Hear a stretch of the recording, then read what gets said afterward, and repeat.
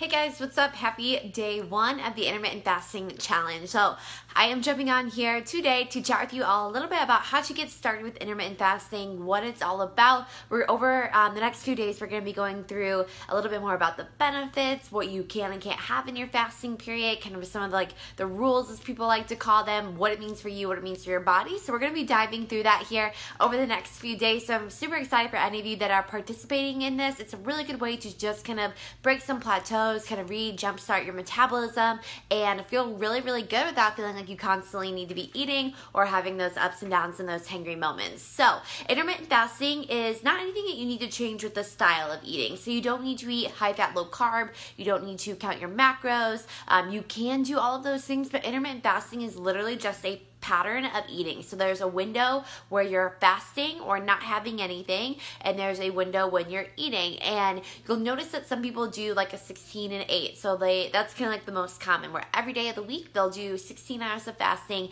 and 8 hour eating window. So for example, they'll start around 11 a.m. for their first meal and they will um, will eat till about 7 p.m. and then they won't have anything again until 11 a.m. the next day. Some people do it where it's every other day. So like one day you'll be doing um, intermittent fasting. The next day, you'll take a break from it, and then you'll go back and forth.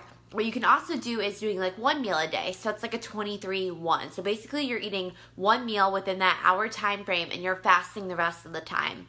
So that's kind of how intermittent fasting works. I say when you're first getting started with it, just start with the normal 16-8. So start with a period of 16 hours where you're fasting, 8 hours where you're eat, uh, where you're having that eating window. And now the thing with this is that you can work your way up to it. So this is how I kind of recommend everybody get started with intermittent fasting. That way you're not like feeling hangry, feeling um, like it's a struggle because you want to listen to your hunger cues with this. What sometimes people start to do with intermittent fasting is they're like, oh, well, I can't break my window until 11 11 a.m., so I'm not going to eat until that time. And while, yes, at first, when your body's kind of getting used to it, it can be a little bit challenging, but you also want to be a little bit intuitive with it where you're listening to your body and learning. Basically, it's trying to teach you of when to eat when you're hungry and when to let your body run on fat for fuel. So we are producing ketones in our bodies and letting that kind of happen as we're not eating and giving our digestive system a break. So again, we're going to go through benefits over the next couple of days, but what I want you guys to do this week, and this is actually to be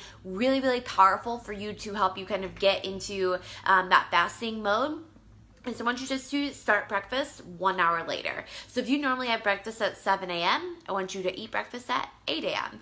And then the next day on Wednesday, I want you to do it at 9 a.m. And then the day after that, 10 a.m. And then if you feel like you need like one or two days at 10 a.m., stay at 10 a.m. Then work to 11, work to 12 or whatever your eating window is gonna be. And then if you normally eat around like six or seven, um, try to keep that same time throughout the week. And so you can kind of figure out what your eight hour window looks like. It might be 10 to 6, it might be 11 to 7, it might be 12 to 8. Try to stay into the um, those kind of numbers uh, just because of like circadian rhythms and things like that. We wanna kind of stay into that late morning, early afternoon and then a few hours before we go to bed. So that's all I want you guys to start with so far this week as we kind of learn more. We start to implement a few different things. Um, and I want you to be able to have your coffee. I'm going to talk about bulletproof coffee and how that works with fasting. But right now, we're just pushing your eating window back by one hour. That is it. So post more questions that you guys have about this challenge in the comments, and I will be on throughout the week to answer those and get you guys set up. So